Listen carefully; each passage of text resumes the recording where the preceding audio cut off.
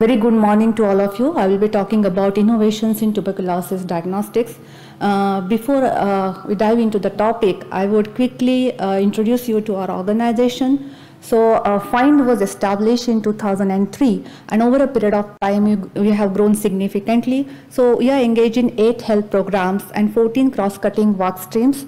Uh, FIND is a WHO collaborating centers for lab strengthening and diagnostic technology evaluation. So currently we are working uh, with 197 partners in 63 countries.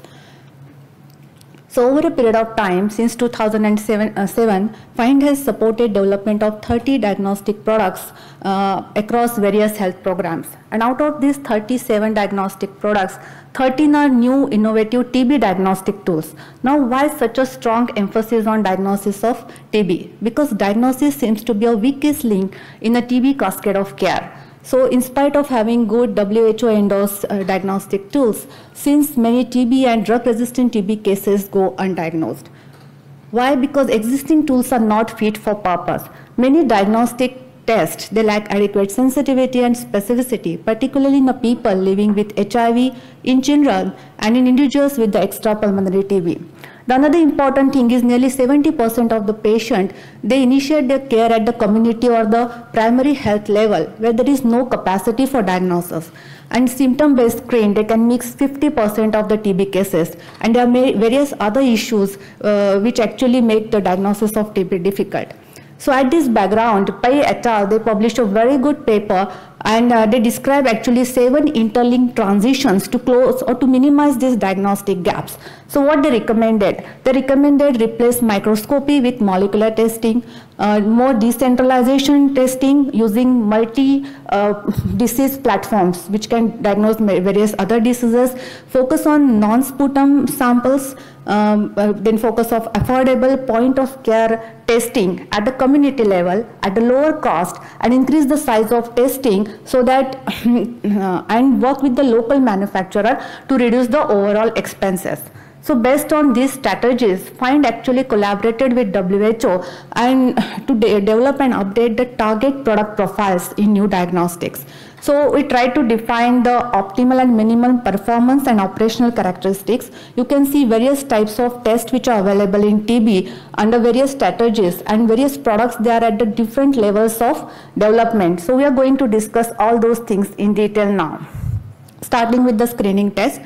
So uh, in the recent years where various CAD softwares are there in the market, now this software they actually uh, they interpret the digital x-rays with the help of artificial intelligence uh, and they give us the abnormality score and many times these abnormality scores they are as good as the experienced radiologist. Now these softwares are also compatible with portable and ultra portable x-ray machines and therefore diagnosis can reach to the remote areas with the limited resources. Uh, though it is recommended by WHO to assist uh, uh, the X-rays, uh, but it is not yet fully scaled up by many countries in their screening programs. The high cost of ultra-portable chest X-ray devices could be the barrier. Now you can see this uh, on this slide you can see various uh, CAD software which are certified already available in the market. Some are pending for certification and some are under development. WHO has already published the guidelines and the website which is there you can see all the details of that. So though this field is rapidly growing there are very limited evaluation studies and few of them are listed over here. The Codlin et al. actually conducted a very good evaluation of 12 CAD software and what he reported is only 50% of these softwares are superior to radiologists, not all. And then other uh, limitations are uh, the people with the past history of TB, we still need to work over there uh, for the alternative threshold and feasibility assessment and the cost evaluation studies are still required. Now coming to AI-powered medical devices, this include point-of-care ultrasound, digital stethoscopes and cough apps. So all these are at the early stage of evaluation and a major limitation with the digital uh, stethoscopes and cough app is they are uh, measuring the respiratory symptom which is cough. So not useful in detecting the subclinical TB or extrapulmonary TB. Now this is a simple, uh, cost-effective and well-known test, C-reactive protein.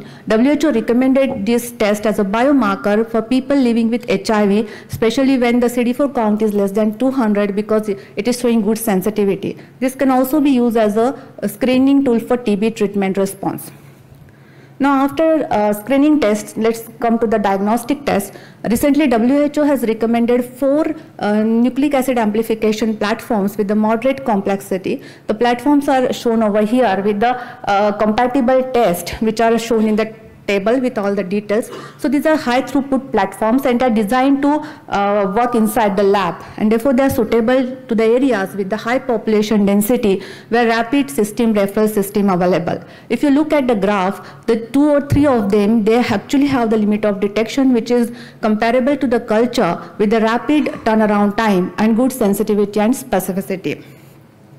Now coming to the test, a point of care test which can replace microscopy. So as you all are aware of, many assays on GeneXpert platform and Truenat platform, they are already recommended by WHO and they are available in the market. However, still few challenges there, uh, there with this existing um, software. In the bottom, you can see uh, the new platforms which are coming up, which are under development. But when you talk to replace microscopy, what exactly are looking for? We're looking for small footprint. The lab on the palm, uh, which is uh, very uh, easy to operate, uh, economical and it can detect multiple diseases not only TB and uh, during the actually during the COVID time many such innovative tools they came to the market. And after COVID they adopted by the different disease programs. So we screen uh, including TB we screen 123 such a point of care platforms. And 27 were found to be really good true point of care. Few are listed over here and another important thing with this platform is that they're looking for the other samples, not only sputum. And the most important sample which many manufacturers looking at is a tongue swab because it is simple to take, uh, is less processing steps. Now these are the preliminary studies showing good sensitivity and specificity um, against uh, Xpert Ultra as a standard and few of them are really good. And another important thing is they are actually workable with the existing platform. So if workout, uh, the diagnostic will be easy in the patients who are finding it difficult to produce sputum samples. Now many manufacturers are also working to improve the sensitivity and specificity of LAMP assay using urine sample. So they are working on uh, innovative reagents and innovative techniques so that the LAMP can be utilized for TB detection not only in HIV, uh, people living with HIV, but also with the norm, uh, in a normal population. Now coming to host response, so Cepheid has come up with a new uh, Mycobacterium tuberculosis host response prototype cartridge uh, where they use the finger prick blood and uh, uh they try to differentiate between the TB and the healthy controls. The preliminary results are good, but again, um, uh, in-depth evaluation studies are needed over here. Now we talk about the detection of TB and sensitivity to either rifampicin or INH. But when there is a TB detection and resistant to rifampicin or INH, in a high pandemic country, we need universal DST. And here I think the genomic tests, they play a very important role. Why? Because they're more comprehensive uh, for prediction of resistance. We can get information about drug surveillance and many other things. And among also genomic tests, the targeted next genome sequencing is getting more focus because uh, as per requirement shorter uh, targets can be sequenced, uh, less complex, easy to work with short turnaround time and directly it can work on a samples.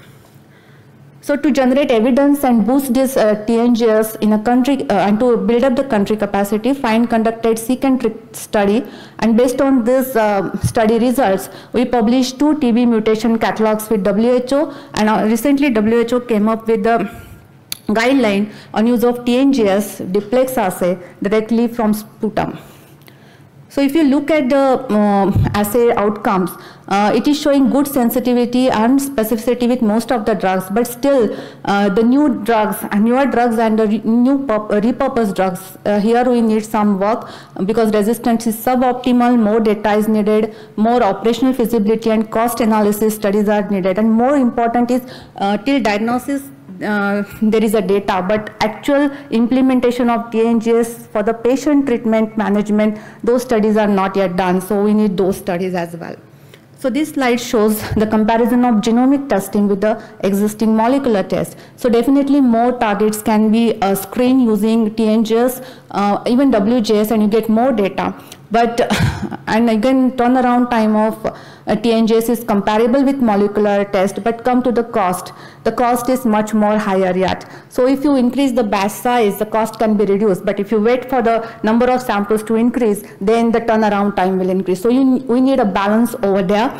And another thing is lot, huge amount of data is generated. So to manage uh, this data, to interpret this, data, again expertise are required. And many uh, countries, they don't have the bioinformaticians expertise. So now again the um, softwares are coming in which can extract the data from the sequencing. Then they can give you the clinical output. They can generate the library. We are evaluating those software as well.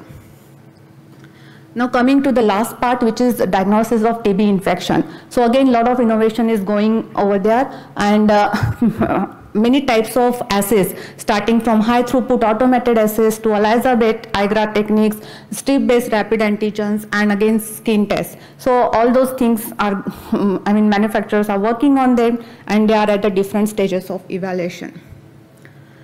So now we talk about evaluation, but how actually we work on it. So this slide gives you the comprehensive uh, pathway from the product development to the scale-up. So we communicate with the manufacturers. We are focusing on the local or regional manufacturers in low and middle income countries. If our goals and area of interest match, then and if the manufacturer has capacity to develop or capabilities to develop the product, then we actually complete all the uh, required regulatory, administrative and documentation part for the product co-development. Then we help them in validation uh, of the product and uh, conduct the clinical trials. Uh, we also help them in conduct operational research where, where we can find out whether the product is working in the actual uh, real field scenario. Then we can conduct multi-country trials to check the reproducibility, reliability of the resu uh, results, how the sensitivity, specificity work out in different parts of world. Then we work on the, we conduct cost analysis studies so that the product will be affordable and uh, cost effective, especially in low and middle income countries. And after that, we work with the countries. Uh, if there is a regional requirement, we can work uh, to modify the product so that it can be easily adoptable. The guidelines can be made at the country level and then it can be scaled up at the country level as, as per the need. So definitely diagnosis, uh, uh, innovation in diagnosis is crucial and with the lot of innovations, the TB diagnostic pipeline is becoming richer, better and richer.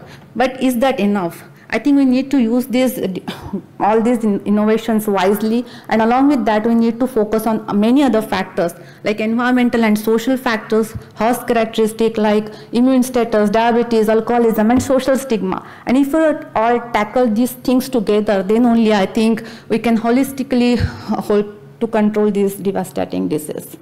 Thank you.